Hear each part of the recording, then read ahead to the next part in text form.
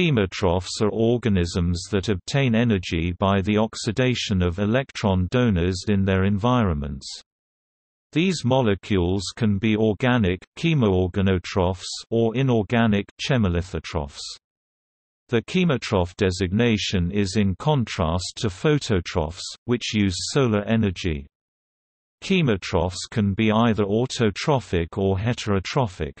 Chemotrophs are found in ocean floors where sunlight cannot reach them because they are not dependent on solar energy.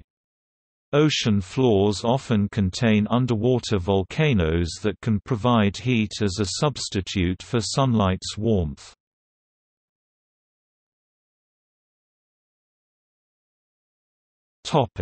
Chemoautotroph Chemoautotrophs or chemotrophic autotroph Greek chemo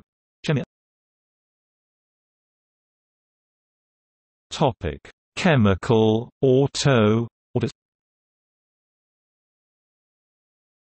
Self troph equals nourishment. In addition to deriving energy from chemical reactions, synthesize all necessary organic compounds from carbon dioxide. Chemoautotrophs use inorganic energy sources such as hydrogen sulfide, elemental sulfur, ferrous iron, molecular hydrogen, and ammonia. Most chemoautotrophs are extremophiles, bacteria or archaea that live in hostile environments such as deep sea vents and are the primary producers in such ecosystems. Chemoautotrophs generally fall into several groups, methanogens, halophiles, sulfur oxidizers and reducers, nitrifiers, Anammox bacteria, and thermoacidophiles. An example of one of these prokaryotes would be Sulfolobus. Chemolithotrophic growth can be dramatically fast, such as Hydrogenovibrio crunogenus with a doubling time around one hour. The term Chemosynthesis coined in 1897 by Wilhelm Pfeffer, originally was defined as the energy production by oxidation of inorganic substances in association with autotrophy, what would be named today as chemolithoautotrophy. Later, the term would include also the chemoorganoautotrophy, that is, it can be seen as a synonym of chemoautotrophy.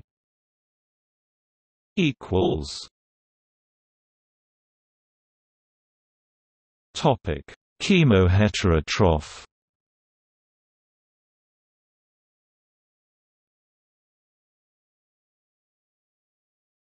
Topic: Chemoheterotrophs or chemotrophic heterotrophs (GR, chemo, chemical hetero hetero Topic: an other troph Nourishmen are unable to fix carbon to form their own organic compounds. Chemoheterotrophs can be chemolithoheterotrophs, utilizing inorganic energy sources such as sulfur or chemoorganoheterotrophs, utilizing organic energy sources such as carbohydrates, lipids, and proteins. Most animals and fungi are examples of chemoheterotrophs.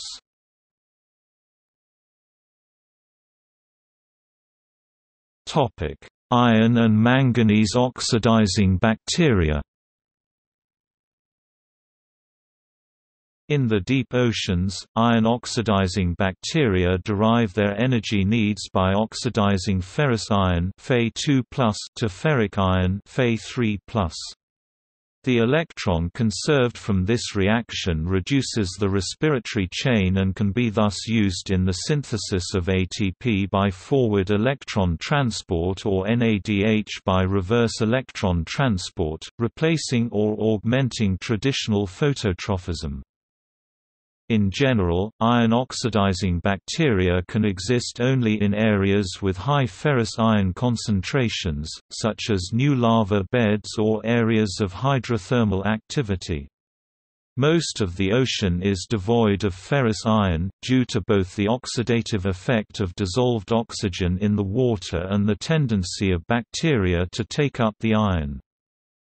Lava beds supply bacteria with ferrous iron straight from the Earth's mantle, but only newly formed igneous rocks have high enough levels of ferrous iron. In addition, because oxygen is necessary for the reaction, these bacteria are much more common in the upper ocean, where oxygen is more abundant.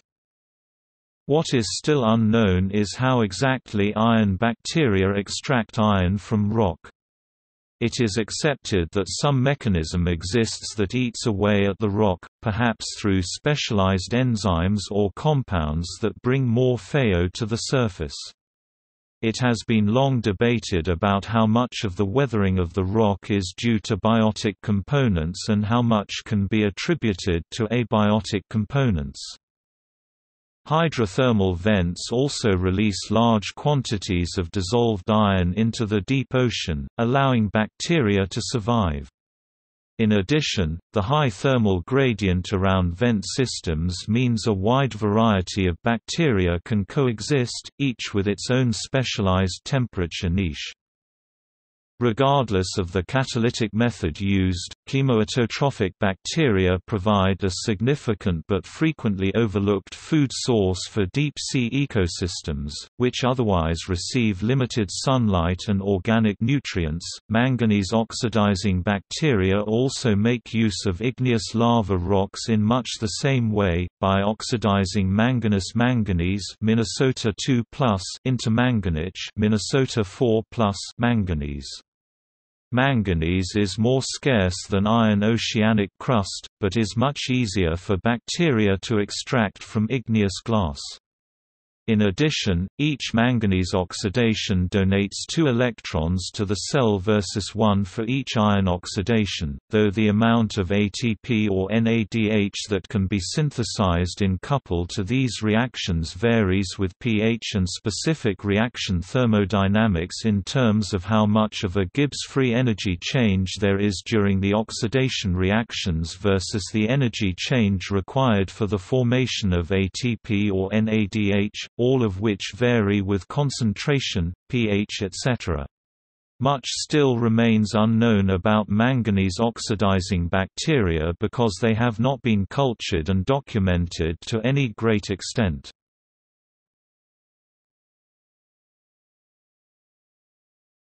Topic: Flow chart. Autotroph Chemoautotroph Photoautotroph Heterotroph Chemoheterotroph Photoheterotroph.